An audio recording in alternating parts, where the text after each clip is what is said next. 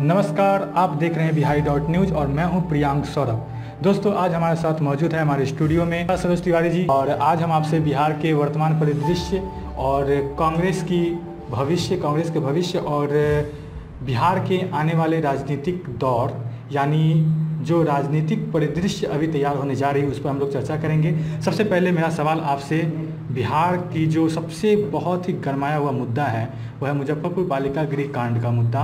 इस मामले में सवाल है कि इस मामले को लेकर विपक्ष लगातार सरकार पे हमला कर रही है और सरकार से सीबीआई की मांग कर रही है, सीबीआई जाँच की मांग कर रही है और कांग्रेस भी इसमें अपना मतलब कुछ समर्थन तो दे ही रही है, लेकिन क्या कारण है कि अभी तक सरकार को वह सीबीआई जाँच के लिए राज़ी नहीं कर पाई है। इसमें विपक्ष की हम कमज़ोरी माने या मतलब इस पर आप क्या कहेंगे?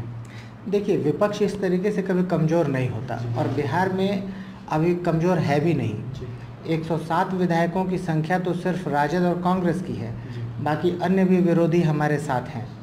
जहाँ तक मुजफ्फरपुर में बालिकाओं के साथ दुर्व्यवहार और बलात्कार की घटना हुई है इसमें इकतालीस लड़कियों का नाम आया था उसमें से 40 की पुष्टि सिविल सर्जन ने की है और 29 कुछ दिनों पूर्व भी पुष्टि हो चुका था।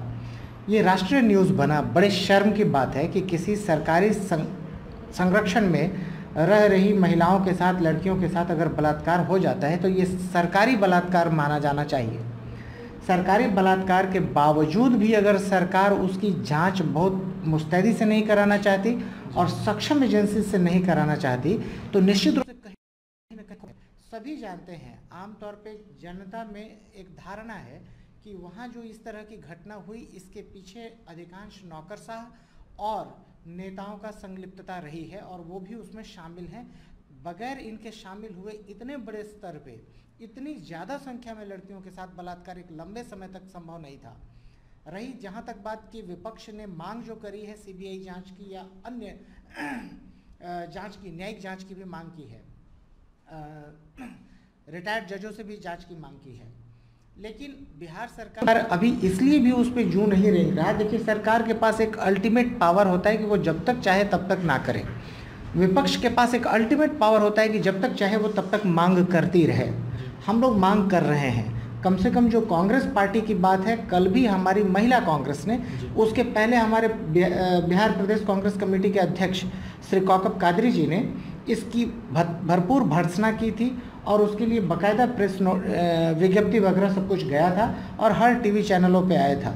उसके बाद कल महिला कांग्रेस चूँकि महिलाओं से जुड़ा मुद्दा था तो महिला कांग्रेस की अध्यक्षा अमिताभ भूषण जी जो विधायिका भी हैं बेगूसराय से उन्होंने इस चीज़ को लीड किया और पूरा विधायक जो जितने भी हमारे विधायक हैं उन सबने जो विधानसभा का घेराव का एक प्रस्ताव रखा और उस पर बहुत आ, कड़ा प्रदर्शन हुआ और उसमें पुलिस की लाठी चार्जेस भी हुई और पुलिस से भिड़ंत भी हुआ सब कुछ हुआ। तो सरकार को ये समझाने के लिए काफ़ी है कि हम लोग मानने वाले नहीं हैं।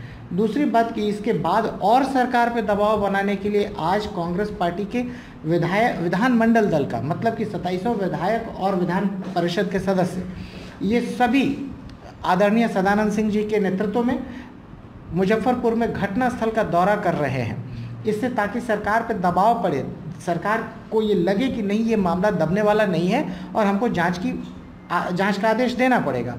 बिहार के डीजीपी श्री द्विवेदी कह रहे हैं कि इसमें जाँच की कोई ज़रूरत नहीं है पुलिस बड़ी आराम से कर रही है। ज़रा ये बताएँ सरकार बताए चूँकि जो महानिदेशक हैं ये तो सरकार के नुमाइंदे हैं। ये बताएँ कि ये आज तक कितनों की गिरफ्तारी हुई? कौन से बड़े लोग पकड़े गए इसमें? बगैर बड़े लोगों के मिली भगत की ये खेल हो सकता था क्या? नहीं हो सकता था। तो इसका मतलब कि ये जो पुलिस महानिदेशक हैं ये मज़ाक कर रहे हैं? कि हमारा जाँच सही चल रहा है और हम लोग सही जा रहे हैं अरे कितने दिनों में आप किसी को पकड़ पाएँगे? जब अगर आप पकड़ नहीं पा रहे हैं वैसे भी बिहार में एक प्रचलन बन गया है कि जो अपराध करेगा वही जाँच करता भी हो जाता है। जो अपराध करता है जिस पर अपराध का आरोप है वही जाँच करता है। चाहे वो सृजन देख लीजिए शौचालय देख लीजिए बाढ़ आने से जो पिछले साल बहुत सारे तटबंध टूटे थे वहाँ पे भी यही हाल रहा और अब मुजफ्फरपुर में भी यही हाल है। बैंक लूट हो जाए या अपराध किसी श्रेणी तक बढ़ जाए किसी सीमा तक बढ़ जाए, जो अपराधी है, वही जाँचकर्ता बन जाता है। बिहार सरकार में ये बहुत बड़ा सरकार की तरफ़ से हमेशा ये कहा जाता है कि हर मुद्दे पर विपक्ष हो, चाहे वो विपक्ष हो मतलब वो राजद हो या कांग्रेस हो, वो हर मुद्दे को सिर्फ़ राजनीतिक फ़ायदा लेने के लिए उठाती है। तो अगर आप सरकार से इस तरह का सवाल करते हैं तो आप पर इस तरह की बातें आती हैं कि वो राजनीतिक फ़ायदा के लिए है। तो क्या अब पार्टी इस मामले में कुछ कठोर कदम उठाने जा रही है? एक बात बताइए। अगर बच्चियों से बलात्कार हो गया जी। ये मुद्दा कौन उठाएगा? जी। कोई एनजीओ उठाना चाहिए? किसी एनजीओ को उठाना चाहिए या विपक्षी दल को उठाना चाहिए? विपक्षी दल अगर उठा रहा है तो ये राजनीति है क्या। या छोड़ दिया जाए कि भाई साहब आप अपराध कितना भी बढ़ा लो कितना भी बलात्कार बढ़ा लो और विपक्षी दल कुछ नहीं बोलेंगे तो ये बोलेगा कौन? इंग्लैंड से ओबामा जी आएँगे बोलने ट्रंप आएँगे बोलने कौन बोलेगा? कांग्रेस बोलेगी, राजद बोलेगी और कौन बोलेगा? जो विपक्ष में होगा वही तो बोलेगा ना। इस तरह की, चलिए ये तो एक मुजफ्फरपुर का एक उदाहरण है कि यहाँ पे विपक्ष बोलने के लिए आया, वो राजनीति नहीं करे सामाजिक मुद्दे पर बोल रही है। हमको एक घटना याद आता है, पुरानी घटना है, हालाँकि उसमें आपके जो समकक्ष हैं आपके गठबंधन की जो पार्टी है राजद है उनकी भूमिका पर हम थोड़ा सा बात करना चाहते हैं कि एक सरहद पर शहीद हुए थे हमारे जवान अ, नाम उनका शायद वो एक अल्पसंख्यक समुदाय से आते थे जिनको लेके बहुत ज़्यादा राजनीति हुई थी और हमारे बड़े बड़े नेता बिहार के बड़े बड़े नेता वहाँ तक पहुँचे थे तेजस्वी यादव भी पहुँचे थे और और भी बहुत सारे नेता पहुँचे थे। उस वक्त हमारे विदेशी बहुत सारे डेलीगेट्स बिहार आए थे और बिहार भ्रमण पर विभिन्न सारे मुद्दों पर चर्चा के लिए। बावजूद उस समय सिर्फ़ वह एक अल्पसंख्यक सैनिक थे। हालाँकि हम उनका सम्मान करते हैं कि वो शहीद हुए, उनके प्रति हमारी श्रद्धा है। लेकिन उसके बाद भी ऐसे कई तरह के सैनिक शहीद हुए, जिन पर कोई भी पार्टी, कोई भी राजनेता उनके बारे में पूछने तक नहीं गए, उनके परिवार के बारे में पूछने तक नहीं गए। तो इस स्थिति में तो कहा जा सकता है कि वह एक सिर्फ़ और सिर्फ़ राजनीतिक नज़रिया से ये किया जा रहा है। देखिए ये दुर्भाग्य है सरकार की तरफ़ से। ऐसी स्थिति में सरकारी नुमाइंदों को जाना चाहिए चाहे कोई भी शहीद हो किसी भी धर्म जाति पंथ का हो।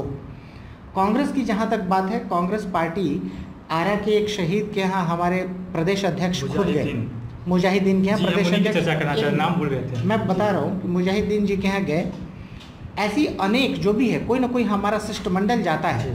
जबकि ये सरकार अगर जाए सरकार की प्रमुखता है सरकार अगर जाती है तो उस परिवार को लाभ ज़्यादा मिलता है। अगर विपक्षी दल के नेता जाते हैं तो लाभ नहीं मिलता। रादर उनकी परेशानी भी कुछ हद तक बढ़ती है लेकिन जाने से एक सांत्वना बनता है और सरकार की नज़र खुलती है कि विपक्ष का नेता पहुँचा है तो हमको भी वहाँ पहुँचना चाहिए। और इसलिए कई बार सांकेतिक रूप से भी जाना बनता है। और दूसरी बात, जहाँ तक मुजाहिदीन या अल्पसंख्यक समाज की नहीं है, बात ये होती है कि जब देश में अल्पसंख्यक समाज जिसको आप टैग कर देते हैं, जब आज के डेट में आपको मालूम है जिसकी सरकार चल रही है, वो लोग उस अल्पसंख्यक समाज को तो देशद्रोही मान के चले हुए हैं। जब मान के चलते हैं ऐसे में, आप क्यों नहीं, अगर कोई अल्पसंख्यक समाज से कोई शहीद हो रहा है तो आप उसको और बूस्ट करेंगे ताकि वो और भारत की सेवा के लिए भारत की सेवा के लिए अपने जान लड़ाए और अपनी जान गंवाए भी अगर ज़रूरत पड़े। जी सरस तिवारी जी आपसे आपने भी कहा कि जो सरकार है वो अल्पसंख्यक समाज को मतलब गद्दार घोषित करने पर लगे ऐसा तो हमें नहीं लगता जहाँ तक हम देख रहे हैं। लेकिन ये एक सिर्फ़ राजनीतिक मुद्दा बन के रह गया अल्पसंख्यक कल्याण एक सिर्फ़ राजनीतिक मुद्दा बन के रह गया चाहे वो बीजेपी उसका राजनीतिक फ़ायदा उठाए या कांग्रेस उसका राजनीतिक फ़ायदा उठाए। चलिए इस सवाल से हम नि- निकलते हैं और चलते हैं फ़िलहाल जी जी बिल्कुल बिल्कुल बोलिए। आप क्या समझते हैं कि 70 साल आज़ादी के बाद के इतिहास में कांग्रेस अगर 60 साल डायरेक्ट इनडायरेक्ट शासन करी है तो क्या कांग्रेस पार्टी को आप राजनीतिक रूप से इतना बेवकूफ़ समझते हैं कि सिर्फ़ वो अल्पसंख्यकों की राजनीति करेगी जैसा आरोप लगता है? जैसा माननीय प्रधानमंत्री जी ने अपने एक संबोधन में कह दिया। इस तरह की इतना अनर्गल और बकवास बात करना और इन्होंने ठेका ले लिया है क्या? और मैं एक चीज़ समझाता हूँ एक चीज़ समझाता हूँ कि आप चले जाओ सीरिया, अफ़गानिस्तान, इराक और ऐसे कई देश, पाकिस्तान जैसे देश भी, जहाँ पे मुस्लिम कंट्री घोषित रूप से मुस्लिम कंट्री है और तब भी वहाँ पे मुसलमान खतरे में बता करके आतंकवादी, जिहादी तैयार किए जाते हैं। वैसा ही हिंदुस्तान में भी हो रहा है, जहाँ हिंदू समाज बहुतायत में है और फिर भी कुछ लोग ज़बरदस्ती आपको थोपने के चक्कर में है कि हिंदू खतरे में है। और इसलिए आप कहते हैं कि नहीं, वो तुष्टिकरण और ये और करण और वो करण नहीं। जो आपका कमज़ोर होगा, आपके घर में भी अगर कोई बच्चा थोड़ा बीमार है तो उसको ज़्यादा केयर दिया जाता है। इसका ये मतलब नहीं है कि वो तुष्टिकरण हो गया। तो बात यहाँ पे अल्पसंख्यक के, की हो रही थी। अब चलिए हम इस मैटर से निकलते हैं, क्योंकि हमारा मैटर आज राजनीतिक, बिहार में राजनीतिक परिदृश्य की है। और आने वाले समय चुनाव में लेकर क्या कांग्रेस की भूमिका है, इन सब बातों पर हम लोग चर्चा करेंगे। हमारा अगला सवाल है कि एक तरफ़ आप देख रहे हैं कि बिहार ही नहीं देश भर में भाजपा एकदम बूथ स्तरीय कार्यकर्ता से मिल रही है। और कांग्रेस की अगर हालत देखें बिहार में तो कांग्रेस का अपना एक मुख्य रूप से कह सकते हैं कि उसके प्रदेश अध्यक्ष भी, पूर्णकालिक जो प्रदेश अध्यक्ष हैं, वो भी नहीं है। तो क्या आप इस रूप में मोदी का सामना कर पाएँगे? बिल्कुल। देखिए, मोदी का सामना किसी नेता को बहुत ज़्यादा नहीं करना होता है। किसी भी नेता का सामना जनता करती है और जनता ही मन बनाती है और जनता ही जाके वोट डालती है। कोई बूथ पे किसी रोबोट को भी खड़ा कर देंगे तो वो जाके वोट नहीं गिरा सकता है। वोट तो वही गिराएँगे जो जनता है और जिनको वोट देना है। और उसके लिए बहुत ज़्यादा आपको वरिड या चिंतित होने की ज़रूरत नहीं है। अगर ये इतने ही बूथ लेवल पे मज़बूत होते तो उत्तर प्रदेश के मुख्यमंत्री अपनी कंस्टिट्यूंसी हार जाते। उत्तर प्रदेश के उप मुख्यमंत्री भाजपा से हैं, वो अपनी कंस्टिट्यूंसी हार जाते हैं और कई जगह पे हारते जाते हैं। इसका ये मतलब नहीं है कि वो बहुत मज़बूत थे, इसलिए हार गए। और हमारे यहाँ बहुत कमज़ोर है, इसलिए हम लोग जीत गए थे महागठबंधन के साथ में। बीजेपी का क्या सुपड़ा साफ़ हुआ था, तिरपन सीट पे आ गई थी और 170 प्लस सीट पे तो महागठबंधन था। तो ये कहाँ का, कौन सा बूथ मैनेजमेंट था इनका जो इस तरीके से गिरा के रखा? उस समय तो ये भी कह सकते हैं कि उस वक्त महागठबंधन महागठबंधन जो थी, वो नीतीश कुमार के चेहरा पर इतना सीट ला पाई थी। क्या इस बार आपके साथ नीतीश कुमार नहीं है? और बार बार आपकी पार्टी के तरफ़ से आपके जो प्रभारी प्रदेश अध्यक्ष कौकब कादरी हैं, वो बार बार नीतीश कुमार को लेके ये करते हैं कि वो उन्हें अपनी पार्टी में आ जानी चाहिए महागठबंधन में आ जानी चाहिए। तो कहीं ना कहीं ये भी तो हम कह सकते हैं कि ये आप उस जीत को दोहराने के लिए नीतीश कुमार का नाम अपने साथ जोड़ना चाहते हैं? बड़ी बढ़िया सवाल पूछा आपने।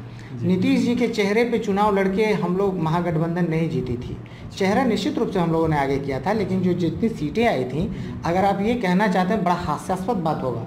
उसमें तीनों दलों का, कांग्रेस का, राजद का, जदयू का, तीनों दलों का एक, सबका एक दूसरे को सहयोग था। सबके वोटर्स की एकजुटता थी, सबके नेताओं की एकजुटता थी। अगर अकेले नीतीश जी बहुत बड़ा तीर मार सकते या बहुत बड़े चेहरा थे तो 2014 में दो सीट में क्यों सिकुड़ सिकुड़ गए? दो लोकसभा सीट में ही क्यों सिकुड़ गए? दो ही लोकसभा सीट उनकी भी आई थी दो कांग्रेस की आई थी। यानी कि हम तो उनके बराबर हैं ना? फिर कहाँ से आप उनको कैसे समझ सकते हैं कि मतलब वो उनका चेहरा बहुत ऐसा पॉलिश चेहरा है? ये दुर्भाग्य है समझने का और ठीक है आप लोग पत्रकार हैं पत्रकारों को ऐसे प्रश्न करके बहुत अच्छा उनको भी लगता है और हमारे कहने का मतलब वो नहीं है आप इसको पर्सनली लेने की ज़रूरत नहीं है। नहीं, नहीं कहने का मतलब ये है जैसे कि आपने भी कहा कि कांग्रेस भी दो सीट लाई थी और जदयू भी लाया था दो सीट तो ये भी तो हो सकता है कि उस वक्त हालाँकि चलिए हम इसका जवाब तो हम किसी जदयू प्रवक्ता से ही या जदयू नेता से ही जानेंगे उस वक्त हम कोशिश करेंगे कि आप भी उस वक्त हमारे सामने हो और दोनों की बातचीत में इस बात का पता चल रहा है कि किसके चेहरा पर जीता। हमने बस इतना कहा कि ये चेहरा उनका हो सकता था शायद उनकी चेहरे की वजह से भी जीते हों। खैर चलिए फ़िलहाल बिहार में आने वाले चुनावों को लेकर कांग्रेस की क्या भूमिका है? क्या अभी भी आप तेजस्वी यादव के चेहरा पर ही चुनाव लड़ने वाले हैं या आपका अपना भी कोई पर्सनल रणनीति है? एक बात बताइए। जी। हमारे दल में जी। या राजद में बहुत सारे ऐसे चेहरे हैं जिनके नाम पे चुनाव हो सकता है। और सबके चेहरे अच्छे हैं किसी का चेहरा खराब थोड़ी होता है। और जनता की नज़र में चेहरा अच्छा होना चाहिए। और ये सब तो मिल बैठ के तय करने की बातें हैं। कोई ऐसा थोड़ी है कि किसी का चेहरा इतना ख़राब है वो कोई डकैत तो है नहीं कोई कि जिसके चेहरे पे आप नहीं लड़ सकते। तो सभी लोग सामान्य राजनीति करने वाले लोग हैं और इनमें से किसी एक चेहरे पे जो शीर्षस्थ नेता है ये नीतिगत फैसला होता है। शीर्षस्थ नेता हमारे यहाँ राहुल जी हैं, जो प्रदेश नेतृत्व से बात करते हैं, प्रदेश के वरिष्ठ नेताओं से बात करते हैं, केंद्रीय वरिष्ठ नेताओं से बात करते हैं, उसका फैसला लेते हैं। राजद में भी लालू जी वरिष्ठ नेता हैं, तेजस्वी जी हैं तेज प्रताप जी हैं, राबड़ी जी हैं, बहुत सारे जो उनके शीर्षस्थ नेता हैं, वो लोग भी अपनी बात करते हैं, अपनी टीम के साथ बात करते हैं, और जिस भी नेतृत्व को, जिसको भी नेतृत्व बना दिया जाएगा, दोनों दल या जो भी गठबंधन दल के साथी हैं वो सभी बड़ी ईमानदारी से बहुत स्वेच्छा से बहुत खुशी से स्वीकार कर लेंगे। इसके लिए किसी के पेट में दर्द पहले से होने की ज़रूरत नहीं है। चलिए बहुत बढ़िया। सरोज जी आपसे एक सवाल और जानना चाहते हैं। हालाँकि हाल ही में कांग्रेस महासचिव बिहार दौरा पे थे अशोक गहलोत जी। उन्होंने लालू जी से मुलाकात के दौरान मुलाकात किया और वो एक कार्यक्रम के दौरान उन्होंने कहा था कि बिहार में राजद और जदयू से मिलना उनकी मजबूरी है। आखिर ऐसी क्या मजबूरी है क्या आज आप उस पर कुछ चर्चा कर पाएँगे? नहीं मजबूरी मजबूरी शब्द नहीं आप समझिए। मजबूरी ये है कि एक हमारे पास शिष्टाचार है कि एक ऐसा नेता है जो बीमार है जिसने पूर्व में हमारी बहुत मदद करी है। और हमने भी उसको बहुत मदद करी है। एक बहुत अच्छी दोस्ती है और इतनी अच्छी दोस्ती है कि उस बॉन्डिंग में हम एक दूसरे को मिलना निश्चित रूप से मजबूरी भी समझते हैं कि नहीं अगर मैं पटना आया हूँ और मैं लालू जी से नहीं मिलूँगा ये मजबूरी। आप समझ रहे हैं कि मैं पटना आया हूँ लालू जी से नहीं मिलूँगा तो ये खुद को बुरा लगेगा क्योंकि एक मेरा बहुत अच्छा मित्र है। और इस सेंस में मजबूरी जैसे हम लोग कभी रिलेशन में जाते हैं किसी शहर में जाओ और अपने रिश्ते में नहीं मिल पाते हैं तो मजबूर फील करते हैं। तो वो मजबूरी कि मैं उस शहर में जाऊँगा तो अपने उस रिश्तेदार से ज़रूर मिलूँगा। ये एक मजबूरी और आप इसी मजबूरी से समझिए। क्या ये मजबूरी हम भाजपा को भी समझे? क्योंकि जब लालू जी एम्स में भर्ती थे दिल्ली में थे उस वक्त भारत के जो केंद्रीय स्वास्थ्य राज्य मंत्री अश्वनी कुमार चौबे हैं उन्होंने भी उनसे जाकर मुलाकात की थी। तो क्या हम उनकी भी मजबूरी समझें? क्यों नहीं? मुलाकात निजी रूप से राजनीति से अलग भी कुछ रिश्ते होते हैं कुछ शिष्टाचार होता है। लालू जी कोई एरू गैरू आदमी तो है नहीं, नहीं। लालू जी केंद्रीय मंत्री रहे हैं बिहार के पूर्व मुख्यमंत्री रहे हैं और अश्विनी चौबे आज मंत्री बने हैं। लेकिन लालू जी तो बहुत पहले मंत्री बन चुके हैं। अश्विनी चौबे आज राज्य मंत्री बने हैं वो पहले कैबिनेट मिनिस्टर रहे हैं। तो और दोनों चूँकि बिहार से हैं और एक बात होती है जब आप बिहार से बाहर जाते हैं तो वहाँ पे जितने भी बिहारी होते हैं वो कमोवेश एकजुट हो जाते हैं फिर वहाँ जाति वहाँ धर्म वहाँ पंथ सब अलग हो जाता है। ये व्यवहारिक रूप में आपने महसूस किया होगा अगर आप दिल्ली रहे होंगे। मैं भी रहा हूँ इसलिए महसूस करता हूँ। वहाँ फिर राजनीतिक दल क्या मायने रखते हैं? जब अगर मान लीजिए कोई दोस्त है और या बिहार से है और वो समस्या में है मैं कुछ मदद कर सकता हूँ तो वी मस्ट गो। चलिए बहुत अच्छा लगा आपसे इस तरह के सवाल का जवाब पाके और काफ़ी पॉजिटिव बात आपने भाजपा भाजपा के अश्वनी चौबे को लेकर भी कहा है। खैर चलिए एक राजनीतिक विद्वेश है हमारा उनसे। राजनीतिक विद्वेश है वो घोटाला करेंगे तो उस पर प्रश्न करेंगे। और मतभेद होना चाहिए बक्सर में उन्होंने घोटाला किया है लाइट घोटाला में बहुत ज़ोर शोर से वो आरोपित माने जा रहे हैं। और उस आरोप को दबाया जा रहा है क्योंकि वो सिर्फ़ मंत्री हैं और उनकी सरकार बिहार में है। भाजपा के मंत्री हैं और बिहार में भाजपा सरकार में इस वजह से उस मुद्दे को दबाया जा रहा है। निश्चित रूप से अगली सरकार हमारी होगी और उनके लिए समस्या बढ़ेगी।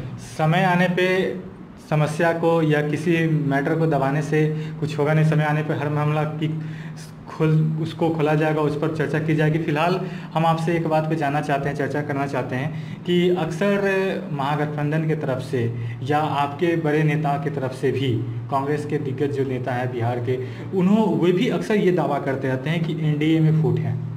और उनके कई नेता, एनडीए के कई बड़े बड़े नेता, जैसे वो कभी रामविलास पासवान को लेकर कभी उपेंद्र कुशवाहा को लेकर ये करते हैं, चर्चा करते हैं कि वो कभी भी महागठबंधन में आ सकते हैं। तो क्या ये सिर्फ़ एक महज अफवाह है? या इसमें कुछ सच्चाई है हम ये आपसे जानना चाहते अच्छा आपको क्या लगता है? आप खबर नवीस हैं और आप लोगों को मेरे से ज़्यादा खबर रहती है।